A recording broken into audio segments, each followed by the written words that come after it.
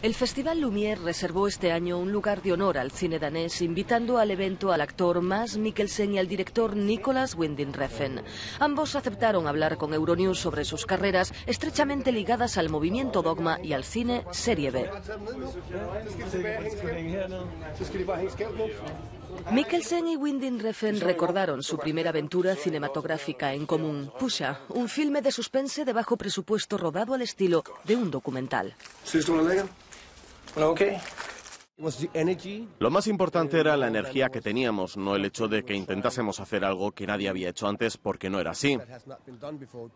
Queríamos hacerlo a nuestra manera, teníamos cosas que decir. Lo mejor que puede pasar, como él dice, es que la gente se inspire para realizar sus propias películas a su manera, no como los demás, simplemente a su manera. Creo que lo importante es hacer algo diferente. Ya sea bueno o malo, eso no importa. La creatividad se basa en las emociones. Te puede inspirar, te puede animar o afectar. Puede gustarte o puedes odiarlo, pero de eso se trata. Yo siempre digo lo mismo, la diversidad es fundamental.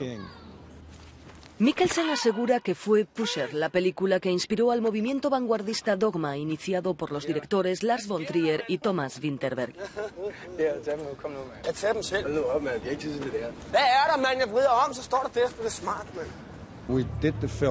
Hicimos esa película sin seguir ninguna norma, no existían reglas sobre la iluminación, el dinero, el vestuario o el sonido.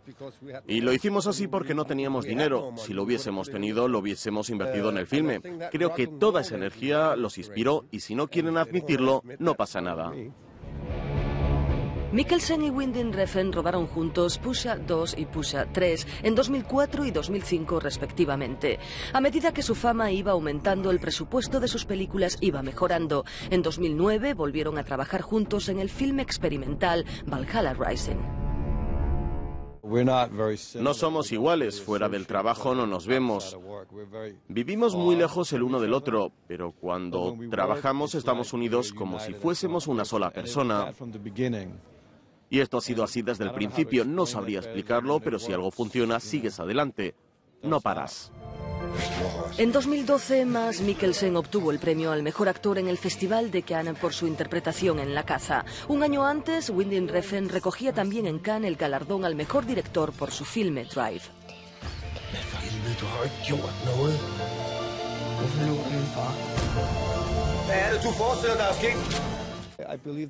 Creo que en la oscuridad también hay muchísima luz y en las películas de Nicolás hay mucho humor. Yo siempre digo que Buster Keaton nunca sonríe. Sí, sí que lo hace. Y cuando sonríe se abre el cielo. Es una locura.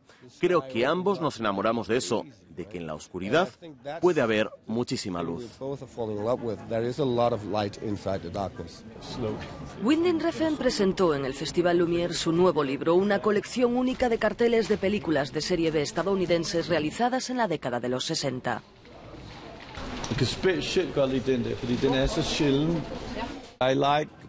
Me gusta todo lo que es extremo en el cine, pero también me gusta el cine que ha sido realizado bajo la censura, porque de alguna manera es mucho más sexy cuando es subliminal. And um, also, I guess el cine pop del que hablamos es rebelde, va en contra de la autoridad. Y creo que esta es una parte importante de la creatividad. Rebelarse siempre contra el buen gusto. Sobre sus proyectos de futuro, Winding Refn habló sobre su próxima película The Neon Demon, protagonizada por Elle Fanning, Christina Hendricks y Keanu Reeves. Sobre su papel en el próximo filme de Star Wars, Mikkelsen nos dijo. Si digo una sola palabra sobre ello, me crucificarán, me quemarán y me colgarán. Así que en esta situación solo soy un perdedor.